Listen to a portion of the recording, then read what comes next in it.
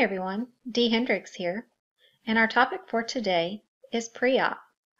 You'll notice here under Library, I have already pre-selected pre-op. I'm telling the system that I want to use the patient's existing tooth. Once you have completed everything in the Setup tab, you can move forward to the Scan tab. You're going to click on pre-op, and you're going to scan in all the pre-op information you need. Once the dentist is finished prepping, then you'll scan in the prep information you need.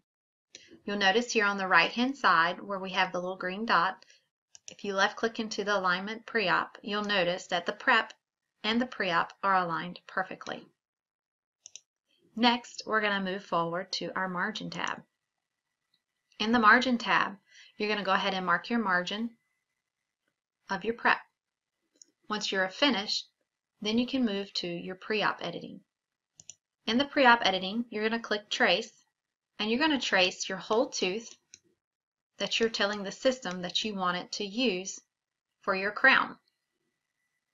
Once you are finished, you can next go to Design.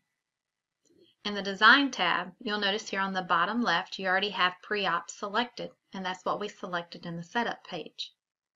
Next, click Apply. And then you'll watch your tooth morph into the pre-op. Once that is finished, you can go on to the left hand side and click on your freeforming tools. And you'll notice here on the bottom right, we have what's called a view pre-op. Once you left click on the view pre-op, you'll notice the pre-op is on top of the crown. Here we can go in and double check of how well our pre-op and our crown align by using our slice plane. You can left click on the slice plane twice. It runs the line through the crown, buccal lingual, and here I'm just going to go through the tooth and slice a section. And I'm going to zoom in so you can see.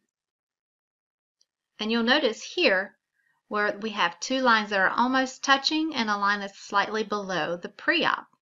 That lets me know that my pre-op and my crown aligned properly.